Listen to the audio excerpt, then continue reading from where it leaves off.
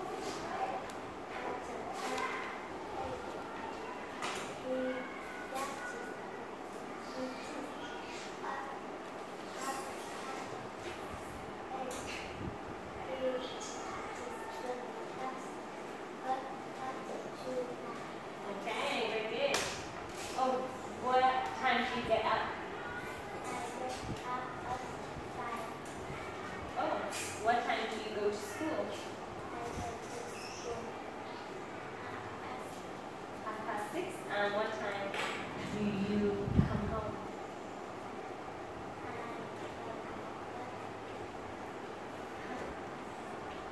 Half past four, okay, great.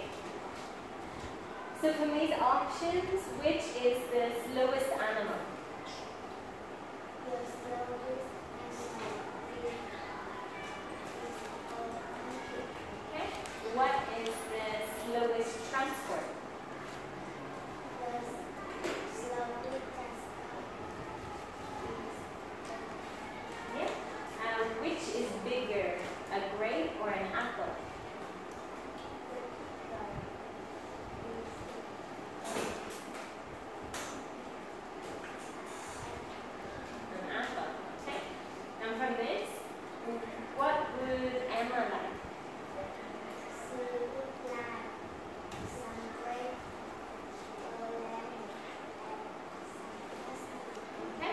with Arela.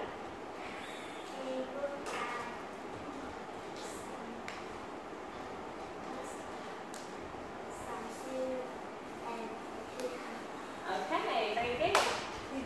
Uh, Sally did a really good test. She speaks slowly and clearly, and her grammar is good as well. So overall, I would like to give her a 9. Well done, Sally. Goodbye.